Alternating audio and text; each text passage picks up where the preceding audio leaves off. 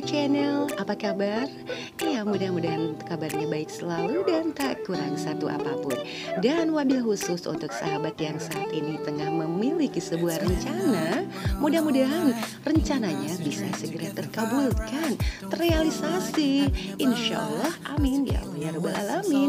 Dan tentunya sehat-sehat juga ya Baik sahabat Goda Gado Channel, ini sebetulnya untuk saya nih, saya aja ya, karena saya belum tahu, belum dengar cerita dari sahabat-sahabat. Nah, terutama untuk saya uh, dalam hal mengurus, merawat, bahkan termasuk memperbanyak, ini ada beberapa cara yang saya lakukan sahabat. Nah, sahabat juga bisa lihat Tentunya apa? Yang pertama barangkali tujuan memperbanyak jelas menginginkan koleksinya bertambah banyak. Kemudian juga ini ada berbau-bau sedikit komersil. Wow, cuan.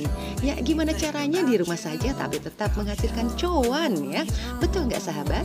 Baik sahabat Koda Gado Channel, dengan begitu sahabat, karena sebuah alasan atau karena beberapa alasan, tentunya kita berusaha memperbanyak tanaman yang kita miliki. Seperti yang sahabat lihat dalam satu pot. Dan biasanya karena pertimbangan kos, pertimbangan biaya, dalam hal memperbanyak tentu saya tidak menggunakan satu plan satu media, tapi saya pakai istilah atau saya pakai sistem steak malas. Kok steak malas? Bukankah dengan menyetek aja itu udah rajin? ya maksudnya malas karena memang kita menyimpannya atau menyeteknya dan menanamnya di dalam satu wadah ya. Wadah dalam skala besar atau lumayan banyak sahabat. Di sini juga nampak uh, sahabat bisa lihat ya, ada beberapa pot dengan satu jenis tanaman di mana satu pot tersebut terisi beberapa potong atau beberapa tangkai atau beberapa pohon. Ya, itu yang saya sebut steak malas. Tapi alhamdulillah sahabat, kondisinya sejauh ini baik-baik saja. Nah, sahabat lihat di sini ada uh, janda bolong. Tanaman yang beberapa saat lalu sempat viral dan harganya juga lumayan WOW seiring dengan bergulirnya musim nih, tren berganti, janda bolong kini sholat tiada arti. Oh my god, harganya aja per plan itu minimal dari 10 ribu, 15 ribu gitu kan. Tapi tidak untuk yang varigata tentunya ya. Ini harganya benar-benar miss ya. Baik sahabat Kuda Gado Channel, nah selain itu juga uh, selain steak malas, saya pun melakukan steak malas dengan menggunakan media air. Hampir semua jenis tumbuhan sahabat, ya seperti sahabat lihat, mulai dari tanaman Adam Hawa, tersingonium, anggrek pun ya sama ya, maksudnya ya seperti itu. Tak luput bougainville, juga hibiscus, pokoknya apa yang ada, nah, termasuk juga yang ini sahabat. Ini semacam cocor bebek kali ya cocor bebek varigata nah dan tentunya masih banyak lain lagi bisa lihat sendiri. Itu cara saya memperbanyak sahabat Goda Gado Channel mawar pun begitu. Sama dan bahkan juga termasuk jambu. Jambu pun saya perbanyak dengan seperti itu sahabat. Bisa sahabat lihat. Mulai dari tanaman peperomia mutiara, terus juga tanaman patah tulang, pokoknya apa pun itu yang ada di sini saya perbanyak. Baik sahabat Goda Gada Channel, Ya barangkali kalau tahu uang bisa diperbanyak dengan cara ditanam seperti ini, ya bisa jadi itu pun saya perbanyak di sini. Tancepin, tumbuh, berkembang biak. Wow, iya kan? Ya tapi baik sahabat, ya, mudah-mudahan apa yang menjadi hobi bisa beberapa saat kemudian ini bisa menjadi ladang profesi buat saya. Ya, nah termasuk juga pilo ini sahabat. Ini pilo mayoy hari saya beli jelas cuma satu saja. Indukan ya. Dan kali ini lumayan bisa diperbanyak dan dengan hitungan jumlah yang lumayan banyak. Pilo Mayoy ini juga cantik banget sahabat. Ini memang ukurannya kecil ya. Tapi pada saat sahabat tanam dan usianya lumayan tua atau bertahun-tahun lamanya dia bisa menjadi besar dan daunnya sudah berbentuk. Tapi uniknya lagi pilomayoi, dia juga bisa ditanam, maksudnya bisa kita letakkan di air dan dia pun tumbuh sahabat. Baik sahabat Goda Gado Channel, yuk lanjut lagi kita jalan-jalan, kita kitari taman. Nah, nah di depan sahabat ini nampak ada pohon puring ya dengan kondisi plant yang masih kecil, paling sekitar 30 atau 45 cm sahabat. Sahabat tahu bagaimana saya mendapatkan pohon puring seperti itu? Iya, itu hasil perbanyakan. Saya pakai steak daun, namun ada sedikit sisa batang yang saya tancapkan sahabat. Itu dari batang tadi tumbuh akar dan bisa sahabat lihat tumbuhnya pun lumayan bagus, bahkan resiko gagalnya pun minim sahabat. So, alhasil tanaman puring mudah untuk kita perbanyak. Begitu juga dengan tanaman patah tulang, sahabat. Nah, mengingat tanaman ini tidak bisa tinggi, dia cocok diletakkan di meja saja atau di teras.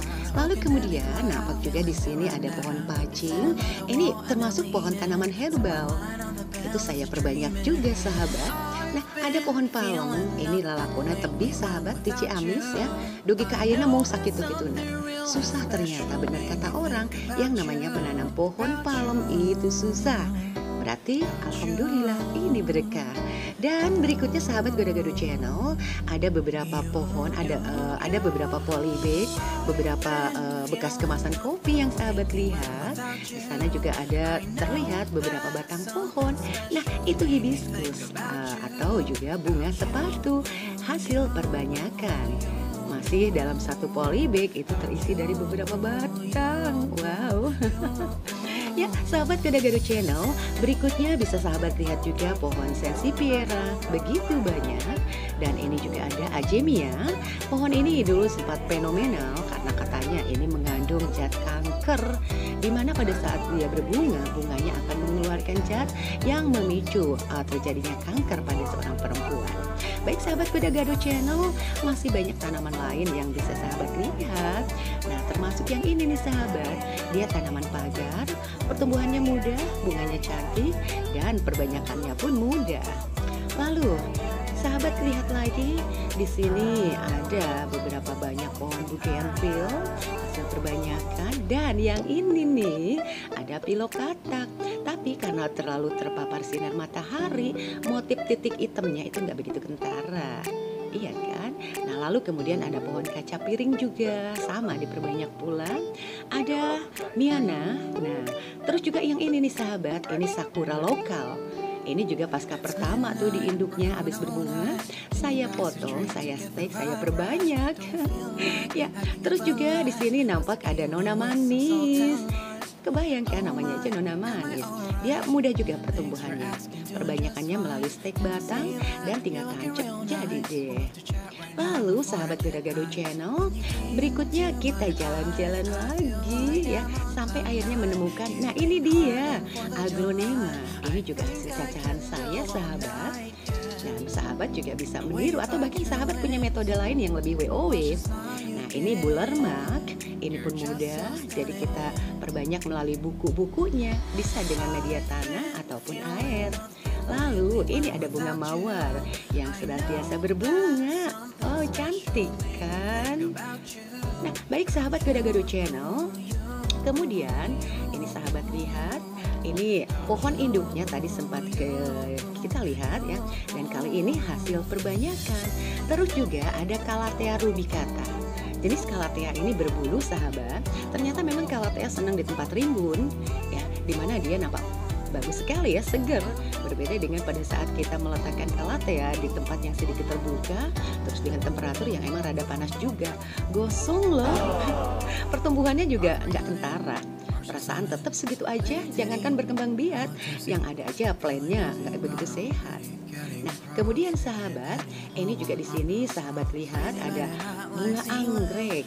Ini amabilis nih yang saya tempel di bawah pohon di sebatang pohon kersen di atas kolam ya. Di sini sejuk, angin juga lumayan. Jadi sirkulasi udara oke okay, dan intensitas cahaya matahari juga oke. Okay. Insya Allah, tempo hari sempat saya temukan amabilis saya yang ditanam karena beberapa saat saja itu sudah berbunga. Tapi langsung diadopsi orang sahabat. Kemudian ada begonia lokal dan ini juga uh, tanaman aglonema hijau, Sri Rezeki. Saat saya letakkan di tempat yang teduh dan dia juga cukup kena asupan air nih. Kebayang pada saat saya mengisi turun ya, ini air pada saat penuh itu merujuk ke bawah dan selalu tersirat. Dan sahabat lihat apa yang terjadi. Wow, ini sungguh-sungguh Sri Rezeki yang paling besar yang saya miliki. Helai daunnya, tangkainya, pohonnya itu benar-benar giant. Wow. Masalahnya saya nggak pakai otomatis ya sahabat, karena pada saat pakai otomatis, ini pada saat ada pasir yang mengangkat terangkat ke saluran, itu dia bikin tersumbat. Nah biasanya di sana mudah rusak tuh pompa air. Tidak, jangan sampai ya. Meminimalisir kos dalam hidup kenapa tidak? di bawah tuh ada peperomia sahabat. Peperomia tapi dia kayaknya kena hama juga sih. Ada bekicot. Oh my god. Ye ini nih potong saya tancepin di sana dan nampak juga sudah mulai tumbuh tunas. Wewe banget. Alhamdulillah ya. Lalu sahabat ini juga ada sepatu pilung satu pot besar saya pergunakan dan di sini uh nampak beberapa batang ya beberapa rumpun dan mungkin di dalamnya juga sudah ada jarum siap tumbuh ke atas melebihi permukaan tanah tentunya.